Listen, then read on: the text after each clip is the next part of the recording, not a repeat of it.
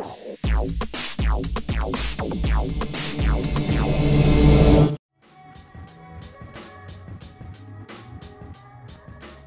Welcome back to In the Can. We're going to be talking about the film Salvation Boulevard. Director George Ratliff is here, as well as just uh, two of this great cast, amazing cast here, and we get to talk with two of the actors, Isabelle Fuhrman and Yul Vasquez. Thank you both for coming in, thank and you. thank you for coming in. Thanks. We're just chatting about how it's kind of a whirlwind here at Sundance and all these different events, but thanks all three of you for making it.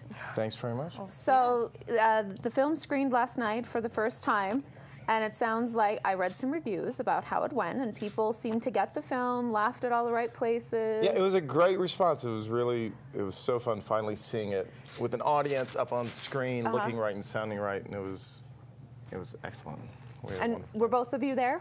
Yes. To see yeah, it? Yeah. Had you seen the film in, in its entirety before last night? I had not seen it. Um, I, uh, I'd seen, I had seen, you know, bits of it, but to see it all sort of strung together was pretty incredible. I think it played. I, I, have never. I can't remember last time I saw a screening where the audience ate a film like, like, like it was you know ice cream. It was my first time seeing it, and I like ice cream. I mean, I swear everyone was laughing at all the right places, and I was laughing. I didn't want to take a sip of my water because I was afraid I was going to spit it out at the person in front of me because I was laughing so hard.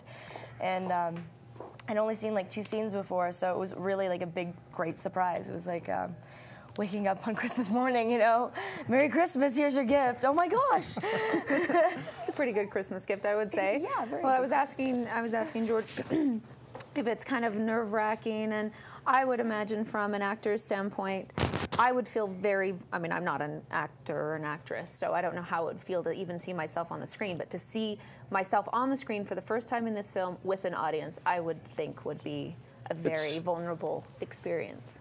It, it always is. You, it's always like a white knuckle experience. Uh -huh. I, I've I've oftentimes been medicated through through some screenings, just just kind of to get through it. He's publicly admitting that. Well, yeah, no, uh, yes, openly. But the the interesting thing about watching a film that you're in is that they, when you watch yourself, you're the only one in the audience that has that perspective. Mm. So you're you're watching yourself from from a place that nobody else could possibly watch mm -hmm. yourself from. Well, and worse, I mean, I can't even hear stand to hear my voice on a, a voice message, you know. I mean, I can't imagine seeing myself yeah. on yeah. screen like just display to everyone. So it's it's very tricky showing the actors. But I, I fed Yul pieces because we had to do things, and, and, unfortunately.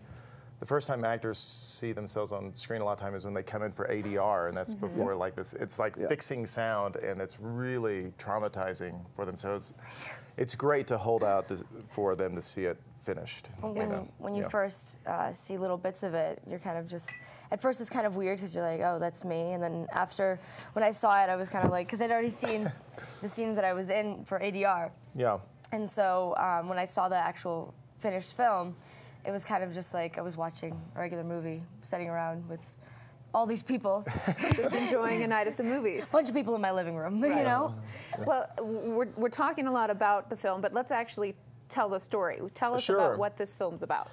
Well, Salvation Boulevard, it's a, uh, it's a very funny movie, but mm -hmm. it mm-hmm. actually has a thriller plot line. And a lot of the humor comes from these amazing characters because it's set in and around a, a mega church. And I mean, I come from that world, and uh, people are definitely afraid to make movies sort of in that world because, you know, they can offend people or it's you know or something like that. But it's um, it's full of chock full of these great, wonderful comic characters that that are so fervent in their belief, and if you, if you throw a couple together in a room, like uh, an ex born again ex deadhead and a played by Greg Kinnear and a mega pastor played by Pierce Brosnan, it's how can you go wrong? Th wonderful things happen. You know. How can you turn down a thriller set in a megachurch? that's too good to be true, right? As Greg said, never read that one before. Yeah, right. right, yeah. it's quite a unique story, that's for sure. Do we have a clip um, of this? Film? No, we do not have a do clip. I don't clip think we have a no, clip. you don't. Um, so they're just gonna have to go see the film. And they'll have to see the movie. That's right. Um, so let's talk about this cast that you've you, you just kind of mentioned. Uh, Pierce yes. Brosnan's in the film, but you've got an amazing lineup. Well, aside from these two, yes. lovely, we have uh, Pierce Brosnan, Greg Kinnear, and then Ed Harris plays, you know, a sort of uh, atheist professor that, you know, is the nemesis of Pastor Dan Day. Um, Jennifer Connelly plays Greg Kinnear's ex-deadhead's, uh, his wife, who's a very intense uh, churchy wife. Uh, Marisa Tomei plays in Grateful Dead head uh, college security chuckling. guard. She's, she's adorable in it. Yeah, She's she's amazing. adorable. Yeah, She's pretty adorable. yeah, she and, is. and Jim Gaffigan plays uh, sort of the church AV guy. That's Dan's sort of number one guy. It's very funny cast. Just from the energy you guys have, I bet this was hysterical being on the set. What was that experience like making the film? There was always something. Always You something seem to like a pretty about. loose kind of guy. So Do I? Yeah. No. um, no, it was it was a really Laid fun back. shoot. I mean, it was it was it was always a good time. It was very intense. We shot the movie in 26 days, which is Really? really a tough tight yeah, that's schedule. a very short timeline.